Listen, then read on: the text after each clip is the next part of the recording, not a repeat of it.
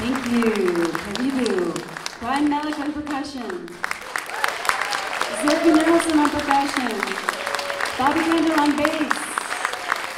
Jonathan Greene on clarinet. I'm Elizabeth with the Kasius and, and he's over here.